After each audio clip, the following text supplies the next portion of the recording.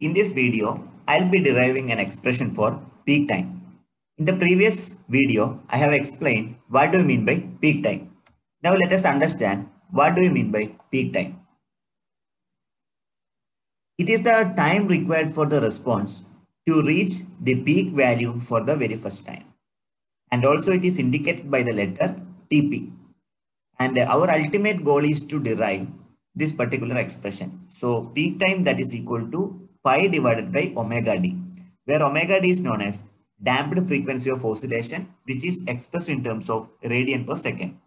If you wanted to write the damped frequency of oscillation in terms of natural frequency of oscillation omega n, you can follow this expression. That means omega d is equal to omega n into square root of 1 minus zeta square, where zeta is known as damping ratio. Okay, our ultimate goal is to reach this particular expression. Okay, so that we are supposed to derive. So I would like to show you what is peak time with the help of a response. Okay, consider second order under damped response and uh, the graph indicates C of t versus time. Clear? Here, the time required to reach the peak value for the very first time. So this is your peak time. See, the time required to reach the response. What is response? C of t is the response. Time required to reach the response for the peak value. This is your peak value. Yes or no? Uh, at the very first time. Okay, so this is representing the peak value and uh, this time is generally represented by peak time. It is indicated by TP. Okay, so this is the peak value of response and this will be the uh, peak time TP. Okay, now we have to derive an expression for peak time. I'll be showing you how to derive the expression for peak time in a simple and precise manner. Let us move on to the derivation. The derivation comprises of three steps. First in the foremost, you have to write down the expression for the response C of t for underdamped system. Later on, you have to differentiate the response that is C of t with respect to time. That's a second procedure. So in order to calculate the peak time, what you can do is you have to recall the principle of maxima and minima in differentiation. That means to get the maximum value, we have to apply the principle of maxima or minima in calculus. Okay, these are the three steps which are involved in the computation of peak time. First in the see, I need to apply the principle of maxima or minima. That means the differential di differentiation of the response d by dt of c of t. Whenever t is equal to tp, that should be equal to zero. This is actually called principle of maxima or minima, and you must have learned during lower classes. Anyway, uh, let us apply uh, this principle of maxima or uh, minima uh, in case of uh, C of t. Someone will call principle of maxima and minima and you can call maxima or minima principle also. First, according to the step we'll follow the response C of t is given by 1 minus e to the power minus zeta omega n t divided by uh, square root of 1 minus zeta square into sine omega dt plus theta. So this is your first step. The first step is over. Okay. Next step, what you are supposed to do is you have to differentiate the c of t with respect to time or you can call c dash of t c, da, c dash of t or directly you can write it d by dt of c of t both are same d by dt of c of t okay so this part is over now you have to apply uh, the differentiation so anyway differentiation of the constant term that is equal to 0 and you have to concentrate the second part. So before how to make out the second part, you can see the second part. There are two segments, correct? So this is the first segment and this will be the second term, first term and this will be the second term. So let me call x is the first term is x, the second term is y. Okay. So for this circumstance, how to apply the differentiation? You have to recall the principle of product rule d by dt of xy equal to x into dy by dt plus y into dx by dt. So this principle you have to apply. And uh, this is just for your information. And uh, while solving, it will be helpful for you. So let me call, this is the first term. Which is the first term? This is your first term, term number one. And uh, this is the second term. So likewise, you can apply. Now let us solve this.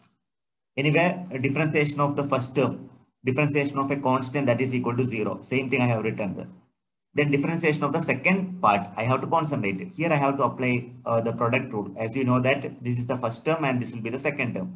So do apply the product rule and work out. Okay, parallelly, better bring one paper and you can work out parallelly. And verify the answer also.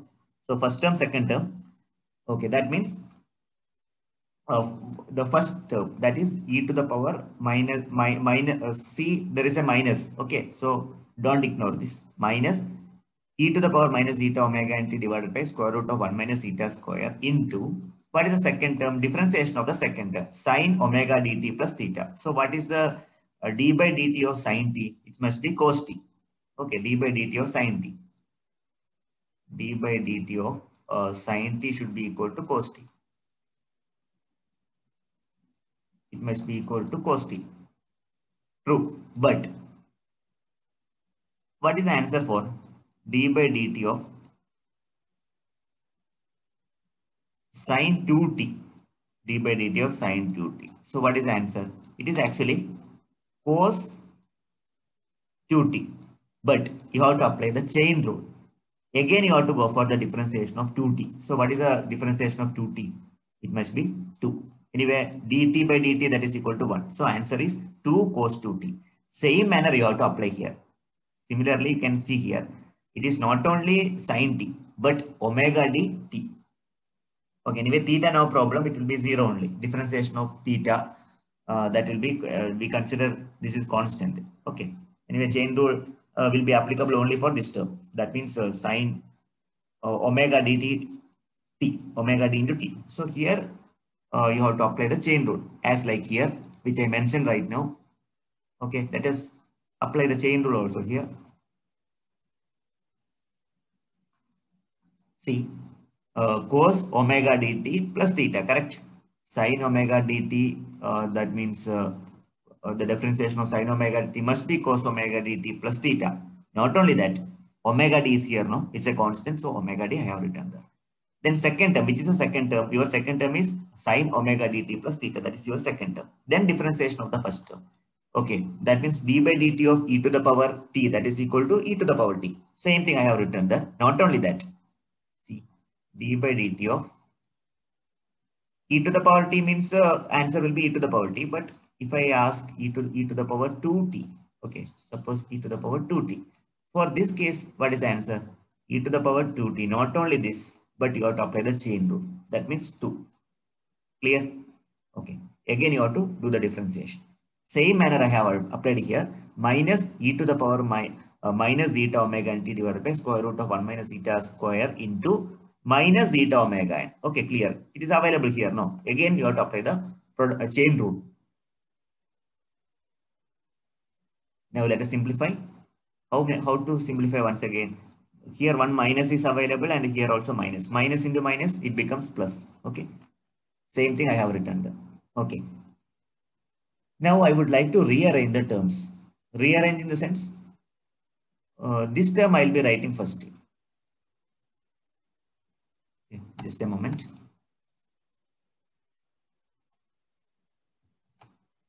So this term I'll be writing first. This I would like to write first. And this particular part I'll be writing the second man. Second.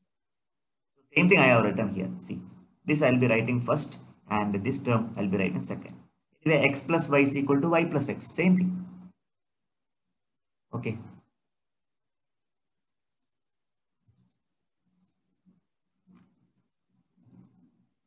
do one thing after rearranging put omega d is equal to omega n into square root of 1 minus theta square and I already explained the relation between omega d and omega n. So what is omega d and omega n I have written in detail and uh, see wherever you can see omega d please do put om uh, omega n into square root of 1 minus theta square. Same thing I have done here see you know so here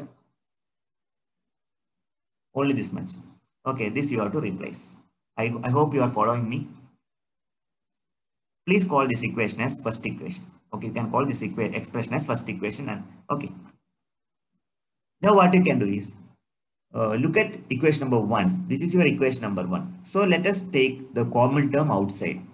Okay, as a part of simplification, let us term, uh, let us take the common term uh, from each segment. This is your x and this will be the y. from x and y, you have to take, you have to segregate the common term. Which is the common term? Obviously, this is your common term. Here it is available. And uh, this part you can able to see, this is one, this is one of the common term. Not only this, omega n is also a common term. See, very clearly, it is uh, available here. So what I have done is, so this particular term I have taken as a common term and I just rearranged remaining things. Okay. This part is completed. So I have rewritten once again. So do one thing, you can call uh, this equation as second equation. Whatever I have updated the equation that you can call it as second equation. So you can call this is second equation. Now let us do some modification at second equation. What modification we can make out? Now you consider one triangle. Okay, consider the triangle. This is one of the right angle triangle. Um, base, uh, hypotenuse and height. So what is sine theta? Opposite side divided by hypotenuse that is equal to square root of 1 minus theta square. What is cos theta? Adjacent side divided by hypotenuse that is zeta. It is very clear. So do one thing. Apply the principles. Instead of sine theta and cos theta, do put square root of 1 minus zeta square and zeta respectively. Instead of zeta, what you can put? Instead of theta, you can put cos theta. It is very clear. Instead of theta, we can put cos theta. It is very clear. And uh, in, in spite of square root of 1 minus theta square, do put sine theta. Okay, do put sine theta. So same thing I would like to do. Instead of square root of 1 minus theta square, I'll be putting sine theta. Instead of theta, I'll be putting cos theta. So let us remodify equation number 2. So the new equation, see cos theta available here and the sine theta. I have modified. Okay. Now look at here. Look at equation number 3. Consider equation number 3. This is in the form of a sine A. Let me call this is sine A. Sine A. This will be cos B minus cos A and sine B. What is the expression for this? You must have studied in trigonometric relation. So what is the expression? That means sine A minus B. Same thing I have written over there. Identify the relation. You have to recall the trigonometric relation and just identify how we can make out this. So this is nothing but sine A minus B. Okay. So what you can do is you have to remodify equation number 3 and apply the principle of trigonometry and uh, remodify the equation, this particular term as sine A minus B. Okay, now I am going to write what is A omega dt plus theta. What is B theta? Of course, it is very correct. So omega dt plus theta minus theta. Theta minus theta is nothing but 0. This is 0. What are the terms which are retaining? That means uh, omega n uh, e to the power minus eta omega n t upon square root of 1 minus eta square into sine omega dt. Omega d dt. Correct? Where zeta is known as damping ratio. There is no more changes. Let us continue. So this is the final expression. If you want, you can modify once again. That means omega n divided by square root of 1 minus square. Not mandatory. If you want, you can modify. Then e to the power minus eta omega n, n into t sine omega d t. Okay, this is the final expression for uh, d by dt of c of t for second order under damped system. So second step is over. We have completed the second step. Okay, please recall whatever I explained at the beginning. There are three segments for this derivation. Now what you can do is apply the principle of maxima or minima. So one of the major application of uh, mathematics in, in the field of engineering. So put T is equal to TP. That means uh, we are considering peak time. If T is equal to T, TP, of course, uh, and it is very clear that C of T becomes C of TP. Okay. So instead of T, wherever you can able to see T, you have to put TP. Now what I have to modify, that means wherever I am able to see T, you have to put TP. Here, instead of T, I'll be putting TP. Here also, instead of T, I am going to put TP. So please do modify the third equation as fourth equation. I'll be modifying this particular equation as fourth equation. Okay. Uh, equation number is just for my convenience. If you are uh, not comfortable to put equation number, no, no problem. You can directly move on. There is no uh, mandatory that you have to put the equation number. This is just for my convenience. So I have modified the equation number 3 and uh, updated the equation as 4. Later on, you can apply principle of maxima and minima. That means uh, for, for maximum condition or minimum condition, uh, that means uh, for, for example, consider the waveforms. This may be one of the waveforms. See, there may be two peak. So this is one peak. This will be another peak. Here you can, in order to calculate this value, you can able to apply the principle of maxima or minima. At that time, slope will be zero. Okay, same principle is applied over here. For maxima or minimum condition, I can apply the principle of maxima minimum. At that time, we are, we are recalling that the slope of that particular point will be zero. So same thing I'll be applying here. That means uh, d by dt of d by dtp of c of tp that is equal to zero. Okay, please update. This is equation number five. Consider equation number five. So from equation five, we'll be getting some information. That means e to the power minus zeta omega n tp that never be equal to zero. It must be above zero. Exponential, no? So it is above zero. It never be reaches to zero. So that is one information I am getting from equation number five. But if I look at this term, this will be absolutely constant. Okay, omega n divided by square root of 1 minus zeta square. Depends on the natural frequency of oscillation and damping ratio. Damping ratio will be always less than 1. Anyway, this will be also a positive value. And this, this also will be a positive value. Altogether, these two terms, it will be always greater than uh, 0. It never reaches to 0. Only the thing is, sine omega d tp, that becomes 0 compared to these two terminology, this is actually very less and that will be tending towards zero. So we are making some approximation. Okay. So sine omega dTp that is equal to zero. So based on this approximation, let us write, remodify sine omega d Tp is equal to zero. I need to calculate the value of omega dTp. That means sine inverse of zero. Sine inverse of zero is nothing but n pi. But in this context, I am going to call uh, n is equal to 1. Such cases, omega d Tp becomes pi. Okay, pi in radian only. From this expression, I can easily compute the value of Tp. Therefore, Tp is equal to pi divided by omega d. If you wanted to write omega d in terms of natural frequency of oscillation, omega d means damped frequency of oscillation. If you would like to write omega d in terms of uh, natural frequency of oscillation, then you can modify pi by omega d is equal to pi divided by omega n into square root of 1 minus theta square. So this is the final expression for a peak time. Okay. So we have to follow the three sequence. First in the foremost, recall what is the expression for C of t. Number one, later on differentiate C of t with respect to time. Afterwards, instead of t, you have to put TP because you need to make out the value of peak time. At the end, apply the principle of maxima, minima. So if you apply the principle of maxima, minima, d by dt p of c of tp that is equal to 0. From that expression, uh, you can finally reach uh, peak time tp is equal to pi divided by omega d. So this is one of the important expression uh, which will be helpful for design of various systems and you can solve many more problems. Okay, so you can able to analyze uh, the peak time of a particular system by using this expression. Clear? Hope the session is useful and if you are having any queries, please do put up in the comment box. Finally, thank you for watching this video.